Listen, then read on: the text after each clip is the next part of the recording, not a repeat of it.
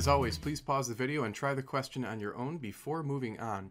In this question, we are trying to minimize the amount of time it takes for a woman to go across the lake on the boat to point B and then travel by foot over to point C.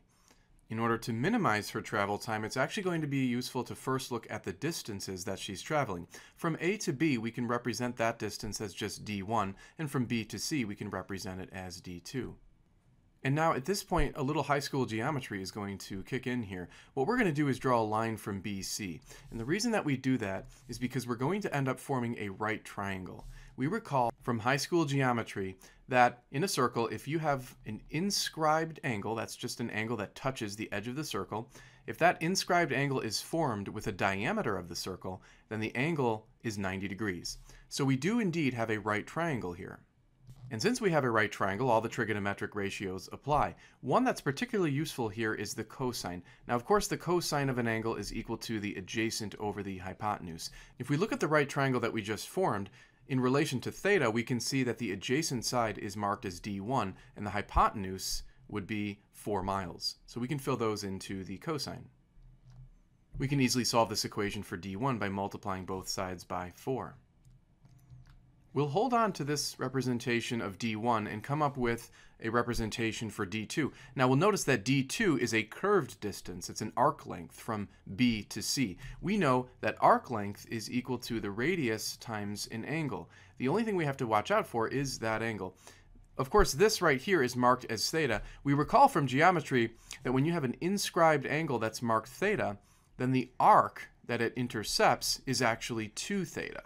That's another idea from high school geometry. So, plugging into the arc length formula, we would have the radius of the circle, which was 2 miles, multiplied by the angle that the arc length is represented by, and that, again, is 2 theta. And therefore, we get 4 theta for the arc length from B to C. We've called that D2, so in essence, D2 is equal to 4 theta. Now, you might be asking, why do we need representations of the distances? We're trying to minimize the time.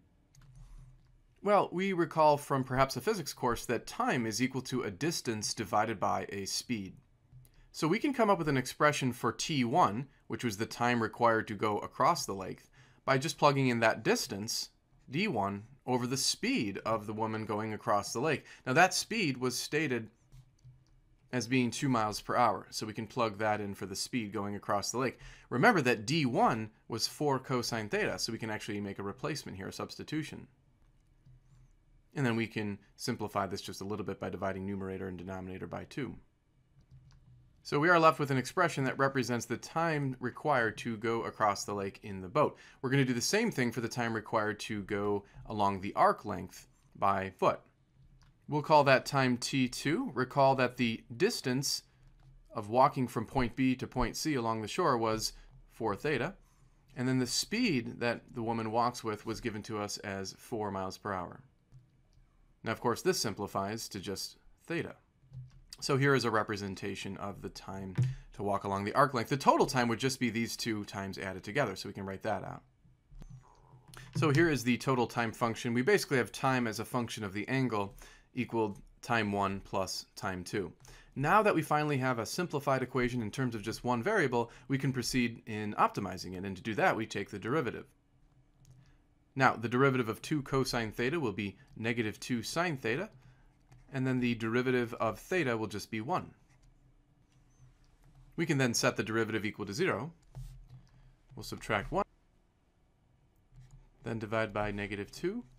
And so now we have the sine of theta equals 1 half. Now it turns out there are two solutions to this equation. We can have 30 degrees or 150 degrees.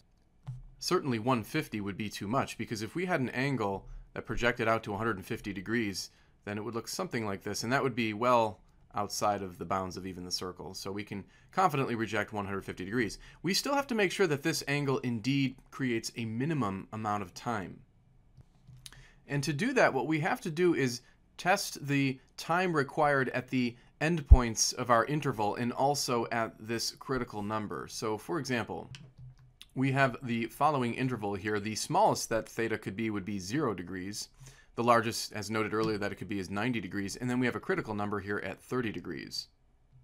Now to find out which one of these values leads to the absolutely minimum amount of time required to travel around the lake, we just plug them in for theta into the time equation.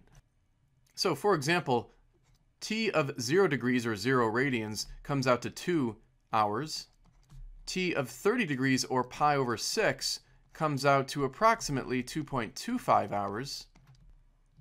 And t of 90 degrees or pi over 2 radians comes out to approximately 1.57 hours. Well, we're trying to minimize the time that it takes for her to reach her destination. So we can actually see that the correct answer, the correct angle that we should have is the pi over 2 radians, or 90 degrees. Let's understand what this means in terms of the question by referring back to the picture. So in the original picture, this angle doesn't look like 90 degrees. In fact, it isn't 90 degrees. In order to make it 90 degrees, we would have to open it up a little bit. So let's say we opened it up about that much, okay? That's still not 90 degrees, but we're getting closer. So she would row her boat across this much of the lake, and then she would get off and then walk the rest of the way to point C. Well, that wasn't the correct angle, right? This is still a little bit less than 90 degrees. So we'd have to open it up just a little bit more. So perhaps that would look like this if we try to make this angle 90 degrees. She would have to row just a little bit across the lake, get off the boat, and then walk the remaining portion of the distance all the way to point C. That angle right there would be the theta, but it's still not quite 90 degrees. The point is, as we open up the angle more and more to try to get to 90 degrees, she's essentially not going to have to go across the lake at all. She's simply going to walk around the perimeter to get to point C. And so the correct answer here is having the woman just walk around the perimeter of the lake in order to get to point C. She doesn't have to row at all. An interesting result. Thanks again for taking the time to watch this video. If you like it, please subscribe and feel free to send your own question to the following email address and stay tuned for